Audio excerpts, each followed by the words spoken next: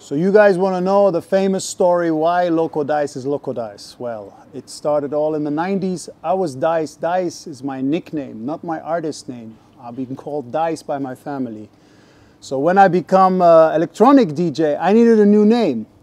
And I had a new name. The name I got late 90s when I was a hip hop kid coming to Ibiza going crazy, especially in this club. One day I thought I'm King Kong. I wanted to tear up that logo. And I remember the security calling, come down, come down, hey, to loco, to loco, to loco, loco, loco, my friend, dice, loco, loco, loco, dice, loco.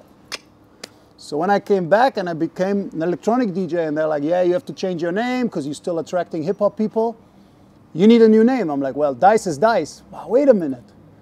Yeah, I was in Ibiza. That's my birth of electronic music. Loco Dice. Simple, short, brilliant.